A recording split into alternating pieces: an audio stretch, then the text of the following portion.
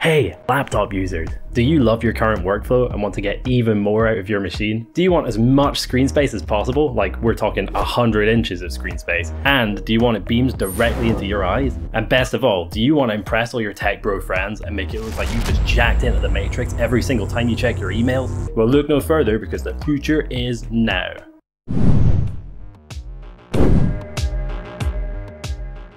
So, tech startup Sightful has just announced the world's first augmented reality laptop, Spacetop.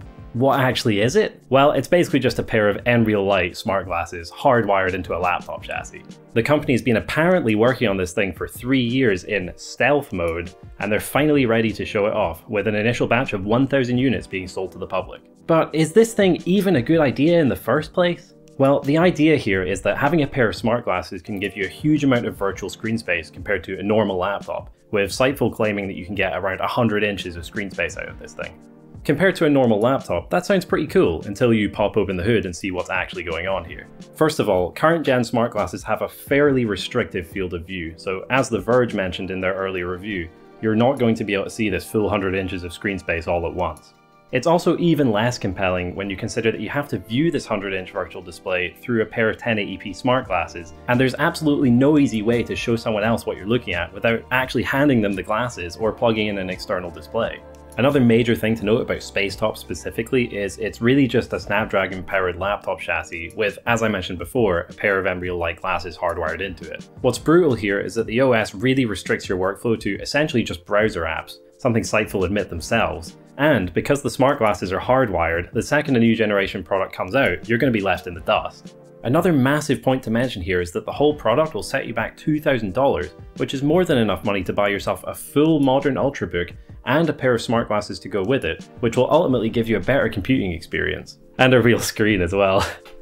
Besides, just look at this thing. This has to be one of the clunkiest laptop ideas I've ever seen, and you know they probably had to retake this shot a whole bunch of times to make it look sleek. I mean look, the cable just kind of smooshes on top of the keyboard here. Okay, so it's easy to pick a lot of holes in this product, but the truth is, they're trying something that's pretty much uncharted territory. The idea of using AR glasses for a virtual display really hasn't been around that long, and it's quite obvious that the technology still has a lot of maturing to do. But overall, do I think this kind of workflow is a good idea?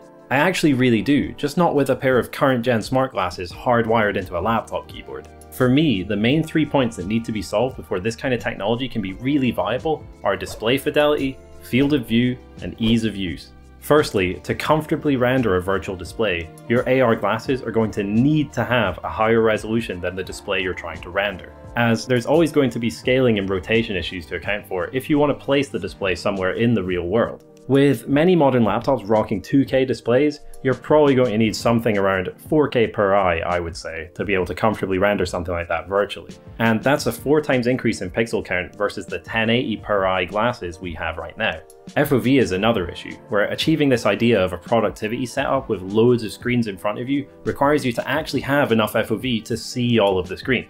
Current gen smart glasses with fields of view around 50 degrees might be okay for single activities like playing flat screen games, but if you try and use them for multi-screen productivity purposes, you're going to find yourself wanting more.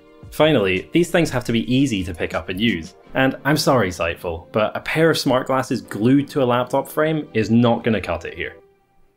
Hey everyone, thanks for watching this VR Compare quick take on Spacetop and AR laptops in general. I'd love to know what you guys think about this tech, and if you like the idea of using AR glasses or virtual displays for productivity. If so, let me know in the comments. And as I mentioned in the last video, we've got our first review for a pair of AR glasses in the pipeline, so don't miss it. And that is a wrap. Cheers everybody.